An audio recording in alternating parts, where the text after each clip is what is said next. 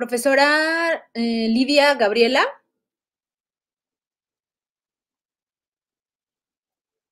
Hola, no tengo audio. Creo que usted sí me escucha, pero yo no la escucho.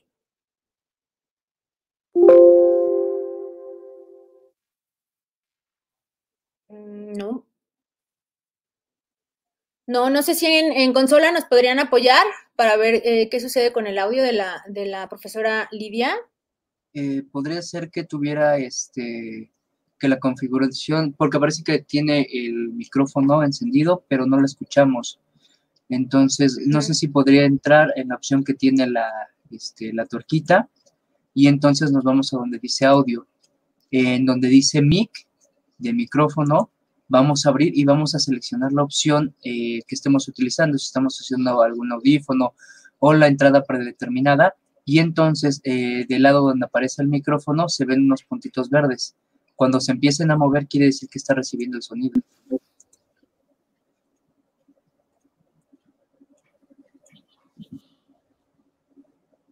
En, el, en la parte inferior de la pantalla, este, profesora, hay cinco iconos. El primero es un micrófono que dice mute en la parte de abajo. El segundo es una camarita que dice stop cam.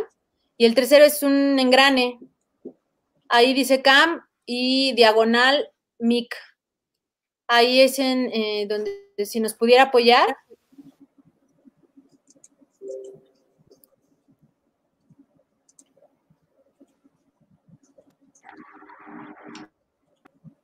A ver ahora. Perfecto, ya escuchamos bien. Correcto, ya les. Ah, perfecto. ¿Sí, me escuchan?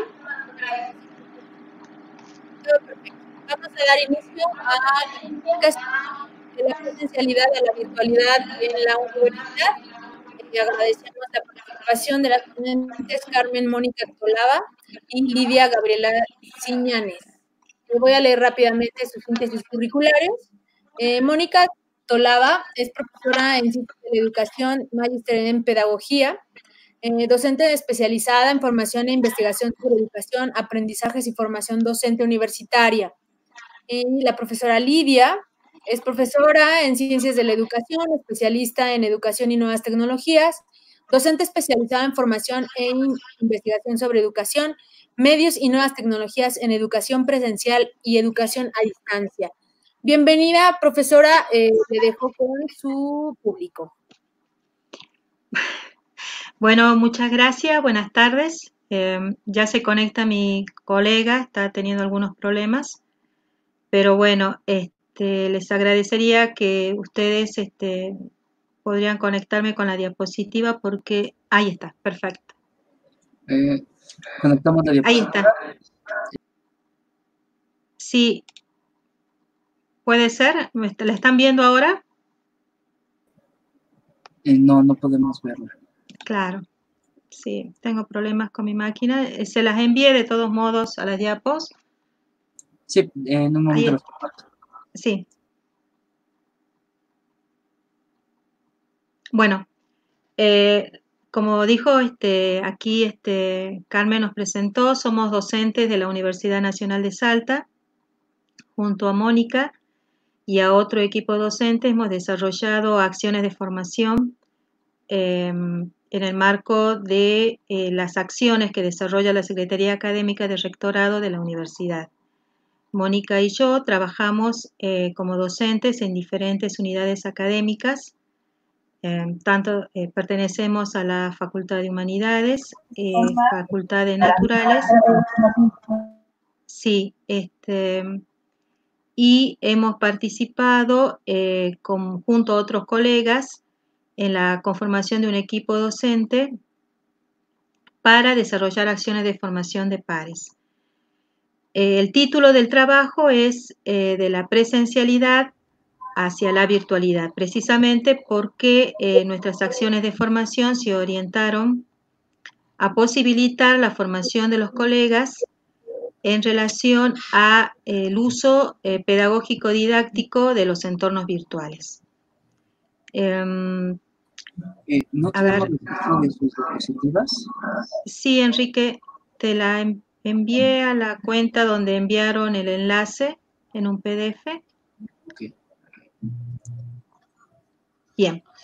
Como el título de la presentación dice de la presencialidad a la virtualidad, los antecedentes de esta propuesta se inician desde lo que sería una historia previa de nuestra institución de nuestro, y de las propuestas para entenderla, digamos. Nosotros pertenecemos a una universidad eh, presencial, tiene este, sus carreras están acreditadas en el marco de la presencialidad. Entonces, al inicio la, de este contexto de que nos llevaron a la no presencialidad, teníamos ya una historia en la inclusión de entornos virtuales en las prácticas de enseñanza como propuestas metodológicas. Es decir, que em, eh, en relación a las diferentes unidades académicas, em, ha habido una inclusión incipiente de aulas virtuales en plataforma Moodle. Entonces, eh, cada unidad académica cuenta con una plataforma con entorno Moodle y a su vez otros docentes utilizan otros entornos a los cuales le asignan. Gracias, gracias Carmen, equipo.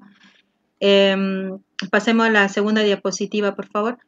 Eh, bien, gracias. Eh, muchos colegas cuentan con entornos virtuales desde donde em, trabajan, digamos, pero como una extensión. La modalidad Blender Learning, que ya parece tan lejana, pero bueno, era la propuesta metodológica incipiente en hasta ese momento. Entonces nos encontramos con estudiantes eh, que incorporan entornos virtuales, em, preferentemente Moodle, muy variados según la unidad académica y las sedes regionales de la universidad, con una población estudiantil que proviene de diferentes zonas. Nuestra universidad este, también se la conoce como nuestra propuesta una universidad de frontera. Estamos ubicados al norte de la Argentina. Somos de la Universidad Nacional de Salta, Argentina al norte. Entonces tenemos estudiantes que provienen de diferentes regiones. Nuestra provincia es muy extensa. Tiene sedes en el norte, centro y sur de la provincia, junto a otras, em, y comparte, digamos, una población estudiantil con eh, otras universidades de otras regiones, eh, em, de otras provincias y de países. Entonces, nuestra población estudiantil es muy diversa y depende de la carrera también. Como les decíamos, también en, ante esta masiva inclusión a nivel de políticas institucionales se fueron incluyendo eh, eh, poco a poco una nueva infraestructura tecnológica que llevó a que cada unidad académica contara con su propio servidor y por una cuestión de propuestas pedagógicas eh, se incluyeron paulatinamente el entorno Moodle, plataforma Moodle. entonces las acciones eh, en general tendieron hacia la inclusión de las aulas virtuales desde el punto de vista pedagógico y técnico, a nivel de eh, cursos de posgrado, cursos de actualización, de transferencia, cursos de extensión, tanto para docentes como para estudiantes. Que lo interesante de esto no se focaliza en una unidad académica, sino que surgían fundamentalmente eh, desde la Facultad de Ciencias de la Salud, que es una de las facultades que más aulas virtuales tiene, casi el, el 80% de su, y bueno, ahora sí estamos todas al 100%, pero en su momento era una de las facultades con más aulas virtuales, junto con la Facultad de Ciencias e Ingeniería, Ciencias Naturales y bueno, y otras en menor medida por diferentes propuestas. Entonces, eh, nos encontramos con una universidad presencial con prácticas mediadas por tecnologías en una propuesta de articulación y modalidad Blender Learning con estudiantes este, que tenían distintas trayectorias de formación y de prácticas en entornos virtuales, no necesariamente en Moodle, y este, una población interesante también que era eh, que son los estudiantes del primer año de los distintos cursos de de las carreras que de a poco este, una de las líneas de acción de los cursos de ingreso era la apropiación eh, pedagógica y técnica, digamos, de las herramientas disponibles en las plataformas, preferentemente Moodle porque el curso de ingreso que se estaba desarrollando y que se desarrolla ya hace varios años en la universidad, eh, tiene una, una, cantidad, una carga horaria destinada a, a realizar distintos tipos de actividades en el entorno Moodle. Bien, vamos a la siguiente diapo, por favor. Eh, frente al contexto de pandemia que desde 16 de marzo eh, implicó una transformación, digamos, de nuestras prácticas, estudiantes, docentes, personal de apoyo, toda la estructura administrativa, la comunidad académica universitaria, tuvo que este, trasladar sus prácticas, sus actividades a un entorno de no presencialidad. En el caso de las tareas docentes, los equipos docentes que contaban con aulas virtuales tuvieron que reorganizar y pensar sus propuestas de cátedra en un entorno virtual total, eh, con los equipos docentes que se cuentan, em, rediseñar este, contenidos, reestructurar programas, actividades, encontrarse con los estudiantes. Ese por un lado. Y los docentes que no contaban con entornos eh, Moodle tuvieron que este, recuperar sus otros entornos o potenciarlos en este caso, son los que usaban y los que usan actualmente modo Classroom, algunos usan Face, otros están utilizando el WhatsApp, o sea, es muy variada, pero existe una gran cantidad de gente que, y de equipos que están trabajando en modo. Se realizó desde la Secretaría Académica este, distintos relevamientos para visualizar cuántas aulas virtuales necesitaban crearse, quiénes eran los equipos docentes, em, cuáles eran las demandas de formación este, para saber este, en qué necesitaban ser acompañados o asesoramientos, eh, que a su vez muy variable, eh, han surgido respuestas muy diversas porque las demandas de los profesores de ingeniería algunas veces coinciden con la de la exacta y otras son los requerimientos de los equipos de salud, sin contar otro gran tema que tenemos que son las prácticas. Bueno, entonces tenemos eh, un informe de diferentes demandas, requerimientos, tanto de formación como de aspectos técnicos. En base a eso, eh, también se tuvo que llevar a cabo una readecuación de la infraestructura tecnológica, porque los servidores disponibles en cada unidad académica con su plataforma Moodle y las aulas habilitadas hasta ese momento tuvieron que este, intensificar sus espacios y actividades porque hablamos del 100% de las asignaturas este, que tuvieron que buscar esos entornos, muchos lo hicieron en Moodle, entonces eh, se rediseñaron em, las plataformas y se habilitó un data center dependiente de la Secretaría Académica que pertenece a la universidad donde están alojadas actualmente hoy eh, las plataformas Moodle de las seis unidades académicas más las sedes regionales como les dije, nosotros tenemos este, sedes en distintos puntos de la provincia. Entonces, este, Moodle em, fue, es, digamos, hoy nuestro eh, lugar, nuestro campus, donde desarrollamos nuestras tareas docentes. La mayoría de los este, equipos em, que están hoy eh, desarrollando sus actividades académicas en la universidad. Como les dije, esto varía en relación a a las propuestas pedagógicas de los equipos docentes, a las facultades, a las sedes, a la disponibilidad de acceso técnico, que es un tema que ya también han tratado algunos colegas en, otros, en, los encuentros anteriores. La conectividad es todo un tema, podemos tener plataforma, posibilidades de acceso este, de manera gratuita, porque ese es otro aspecto, ¿por qué no fuimos a Moodle y por qué usamos los servidores? Y, se, y los cursos se focalizan hacia eso se debe a que a partir de un convenio que se hizo entre las universidades nacionales y las empresas que ofrecen servicios telefónicos, em, los estudiantes pueden acceder a los entornos edu.ar y desde allí este, accederían a las páginas y a las aulas virtuales y no les generaría consumo de datos. Eso fue, este, digamos, una forma de dar respuesta a estas cuestiones de, que los gastos que implica el uso de los datos móviles para los estudiantes y también para los docentes, obviamente. Pero, este, como les digo, esto es muy variable. Nuestra, nuestras sedes están ubicadas en zonas a veces de muy difícil acceso y, bueno, tiene sus aspectos a favor y sus aspectos en contra, que, bueno, también se sigue trabajando en otras formas de acceder a, a eso. Este, bueno, a través de otros medios.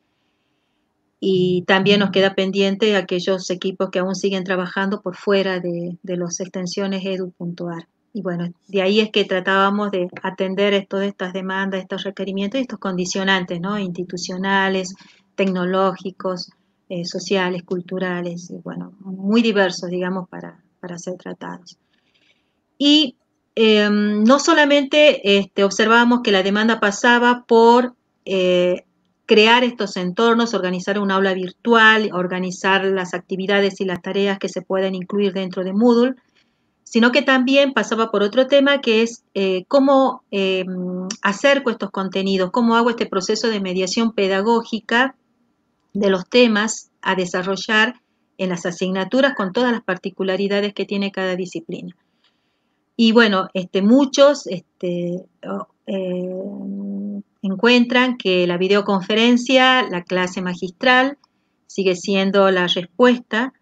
Eh, y bueno, nosotros también, ellos, nosotros y ellos también, en los equipos docentes, observamos que había que fortalecer esta cuestión de que hay otras formas de, abordar el contenido, de presentar el contenido y, y no que reproducir prácticas que desarrollábamos en la presencialidad.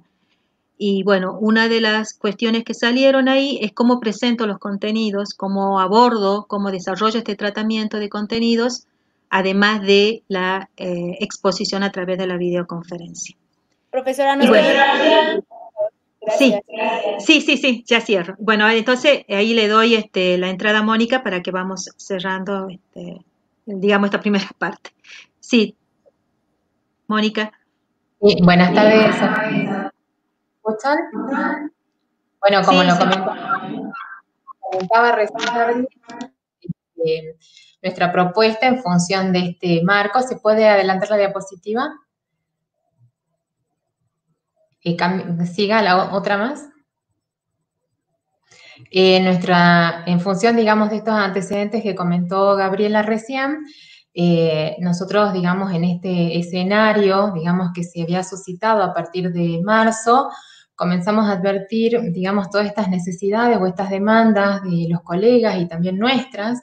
Entonces es que eh, generamos una propuesta de formación eh, acotada, se trata de dos cursos que tenían como propósito construir un espacio de intercambio y análisis sobre la elaboración de materiales didácticos, eh, teniendo en cuenta, digamos, algunas al menos de las demandas que, que digamos, comentaban los docentes, y en segundo lugar, también el propósito de estas propuestas de formación era conocer y analizar las potencialidades pedagógicas de las herramientas digitales, ¿no? Sin descuidar esto que venimos trabajando y conversando en todo este, en este encuentro que tiene que ver con eh, tener en claro los propósitos pedagógicos, ¿sí? Eh, para ello, digamos, se conformaron equipos docentes, un equipo docente interdisciplinar, es decir, nos reunimos eh, docentes de diferentes facultades eh, que tienen a cargo asignaturas diferentes, pero con esta idea de generar un espacio eh, que tienda a acompañar, digamos, a, algunas necesidades de, de, los colegas, ¿no? Em, y por otro lado, también se enfatizó en la construcción de materiales didácticos, atendiendo en primer lugar a la inmediatez de las prácticas eh, que se sucedían, es decir, eh, que, sean, eh, que estos materiales que se construyan y que se elaboren sean factibles de ser utilizados en las aulas, digamos, que se estaban construyendo en ese momento. Y por otro lado también, de alguna manera, los cursos recuperaban la demanda de algunos colegas, acompañar, digamos, las inquietudes que se les presentaban en esto de incluir las tecnologías para dar su materia, ¿no? Em, eh, la siguiente, por favor. Em, en este sentido, se ofrecieron dos cursos, uno denominado Presentaciones Digitales y el otro orientado al diseño de materiales educativos interactivos.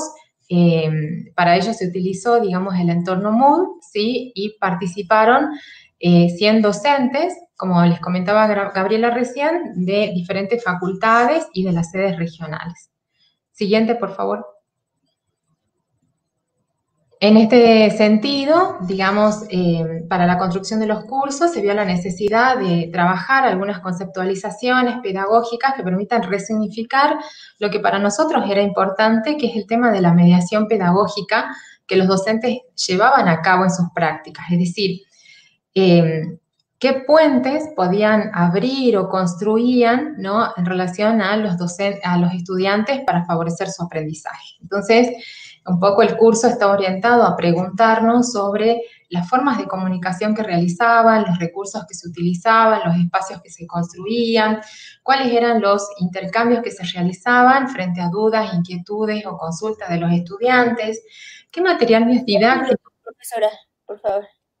¿Qué materiales didácticos, digamos, eh, construían este, los, eh, los docentes? Porque muchos, digamos, subían PDFs, entonces Frente a esta inquietud era la posibilidad de construir materiales didácticos que incluyan interacción con la intención de presentar, digamos, materiales diferentes que les permitan acceder al conocimiento desde otro lugar a los estudiantes. Em, las actividades que se proponían, eh, para, digamos, en ambos cursos, para nosotros estaban orientadas hacia reflexionar sobre la construcción de una práctica de enseñanza ponerse a pensar sobre esa práctica que se estaba construyendo en ese, en ese, en ese escenario pedagógico. También analizar el uso de la tecnología que se realizaba, que no supone, digamos, en esta idea de, que uno hace educación virtual eh, solamente con el uso de la tecnología, sino que justamente poder reflexionar sobre, la, sobre el uso que se realizaba de la misma y sobre los propósitos pedagógicos que se perseguían. Eh, además, se solicitaba en el curso la elaboración de una planificación didáctica eh, en la que se incluía el material didáctico que los docentes elaboraban, definiendo en esa planificación qué lugar ocupaba ese material que elaboraban y cuál era la relación de eh, ese material con otros recursos y actividades de la enseñanza, ¿sí? Y reflexionar también sobre la práctica docente. Bueno, así a grandes rasgos para ir cerrando, eh, si adelantas una diapositiva, por favor. Eh, entre algunos resultados, este es uno que voy a señalar que tenía que ver con el aporte a las prácticas eh, que los docentes señalaron como valorable, digamos, estos cursos, porque les permitían, primero, aprender habilidades que tienen que ver con las tecnologías, pero sobre todo poder pensar eh, esos recursos o esas herramientas tecnológicas en el marco de una planificación. Es decir, ya no se trataba de subir PDF, sino de poder pensar propósitos pedagógicos, enmarcar, digamos, los materiales eh, que ellos construían en el marco de una planificación. Enfatizaban la cuestión de la creatividad, ¿no? Como eh, esta posibilidad de volver sobre el rol docente como constructores de materiales pedagógicos ¿no? Suponía volver a pensar el contenido, eh, volver a pensar eh, estos puentes que dicen muchos autores, ¿no? Para eh, presentar la información desde, otro lugar. Este, bueno, para cerrar algunas conclusiones, porque, nos excedimos de tiempo, el curso, digamos, los cursos fueron valorados positivamente, eh, tanto para los destinatarios de la propuesta como para el equipo que llevó a cabo el curso. Eh, resaltamos también la importancia de eh, que los docentes construyamos espacios compartidos con otros colegas desde el lugar del compartir, ¿no? la importancia de la transferencia de lo que sabemos y poder compartirlo con otros colegas. Y Em, la importancia también de destacar el desafío que asumen los equipos docentes para acompañar y sostener a los estudiantes en sus trayectorias educativas en entornos virtuales. Estas instancias de encuentro con colegas, como por ejemplo este encuentro del chat, nos permite compartir experiencia y pensar sobre todo si lo que hacemos o pensamos no va, este, nos permite reflexionar sobre la propia práctica docente. Bueno, no sé si hay alguna virtudes, sí. más o menos en términos... muchas gracias, este, profesoras. Vamos a iniciar la sesión de preguntas y respuestas. Em, Daniel eh, Jiménez nos pregunta qué tipo de materias fueron las que se impartieron, cómo variar los arreglos educativos pertinentes en función de las características de cada materia. Eh, a ver, el, foco estuvo en que los profesores, en base a los temas o los contenidos que ellos estén desarrollando en este momento en sus aulas virtuales, puedan diseñar un material interactivo. Entonces, este, nosotros les dábamos el asesoramiento, el acompañamiento de cómo diseñar, por ejemplo, un recurso educativo en H5P para Moodle, siempre pensando en esto de que trabajen en Moodle y que no le genere gastos de datos para que el estudiante tenga que irse a, qué sé yo, a cualquier otra plataforma externa que no sea edu.ar. Y este, un PowerPoint interactivo o un Impress interactivo, porque hay unidades académicas que utilizan eh, Impress, que algo fue muy novedoso para otros equipos que están muy acostumbrados a PowerPoint, por ejemplo. Y, este, y también se le ofreció la posibilidad de que puedan diseñar estos contenidos en Genial League, por darles una propuesta. Pero el objetivo es que, y el desafío también que ellos lo pusieron, es pensar el contenido en un entorno, en un material que ellos puedan diseñar de un tema que están dando hoy en la virtualidad. Ese ha sido el propósito. Y nosotros, con nuestros tutoriales y nuestros foros de acompañamiento, este, lo asesorábamos para que ellos puedan diseñar, ¿no? Eh, eso lleva tiempo, lo cual ahí también generó otro tema de que realmente uno insume mucho tiempo en la, en la virtualidad. La gente que no tiene experiencia en el manejo de entornos virtuales creen que, hasta que hasta que están ahí no, no se dan cuenta de, de, de, lo que es repensar, porque no es lo... Por eso decíamos de que había, hay y sigue habiendo mucha demanda por Zoom, por videoconferencia y Zoom, no sé, hay tantas otras, todas quieren Zoom, pero habiendo tantas otras.